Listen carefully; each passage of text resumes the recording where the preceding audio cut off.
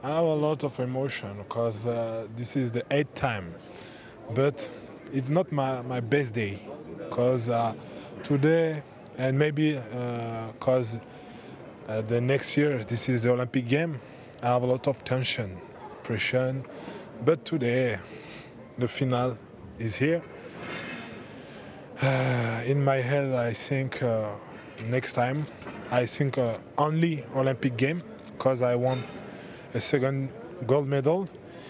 But I know uh, I have a lot of work for for my judo, for my quick uh, technique, and uh, I have one year now. Cool. I think it's different with the last final because the last final I have a lot of opportunity, but I don't have the um, occasion. Now I take the occasion. I uh, uh, when I I, uh, I saw the the the the TV. Yeah, no was I Ippon, but it's okay. I have the gold medal.